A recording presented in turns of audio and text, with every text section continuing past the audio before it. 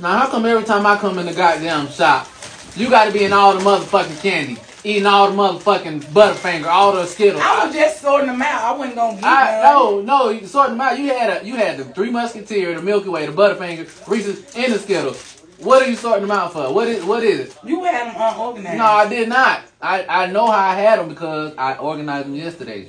And look, you know, um, um, look, I ate a muffin and shit, and I'm putting one back, one little one muffin. I'm putting it back. I'm just talking two for a dollar.